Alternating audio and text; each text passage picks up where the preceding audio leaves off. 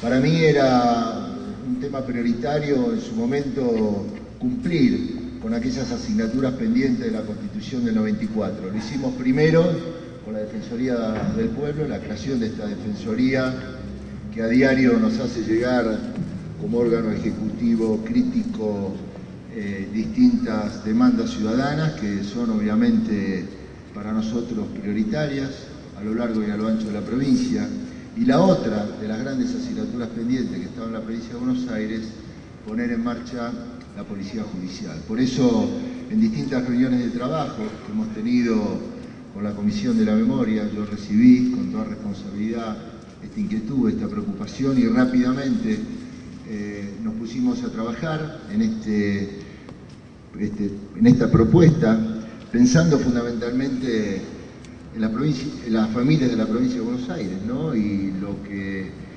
a diario enfrentamos, características de delito de crimen organizado, narcotráfico, organizaciones criminales, que esto exige la readecuación del funcionamiento del Estado, en este caso la creación de la Policía Judicial,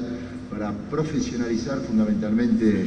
las investigaciones penales, potenciar la lucha contra el crimen organizado, redes delictivas y generar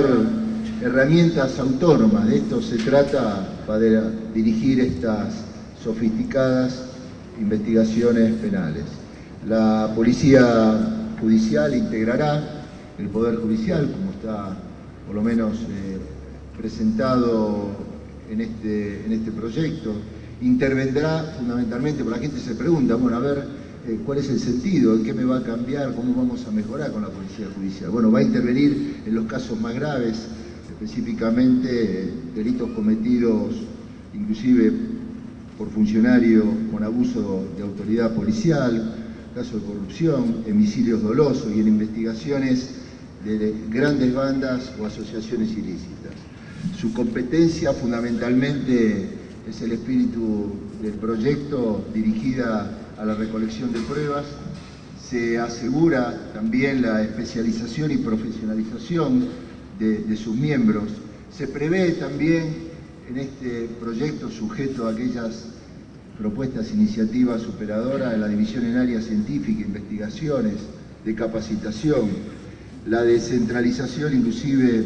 e intervención inmediata a través de cuerpos regionales, la selección de, de sus miembros, nuestra propuesta que se haga por concurso público para garantizar la total transparencia y abierto fundamentalmente también a la participación ciudadana. Todos los que integramos este proyecto nacional que, conduce nuestra presidenta, la doctora Cristina Fernández de Kirchner, sabemos que hay un pilar sobre el cual se fundamentan nuestras políticas, que son las garantías individuales y los derechos humanos. Y este proyecto eh, respeta fielmente e interpreta con toda claridad en estos nuevos tiempos de Argentina la importancia de dar un salto cualitativo en lo que son el curso y la organización de las investigaciones. Esto es una ley que la esperábamos de hace tiempo y creo que a partir de estas reflexiones, una vez que sea sancionada por la legislatura, esta ley le va a cambiar la vida a los ciudadanos de la provincia de Buenos Aires, va a ser un aporte a poder vivir en una sociedad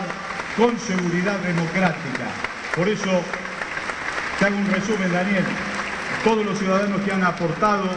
hasta este momento han celebrado la vocación del Ejecutivo de enviar el proyecto de ley y por supuesto que con su intervención desde el legislativo estamos muy conformes porque esos aportes van a ser considerados.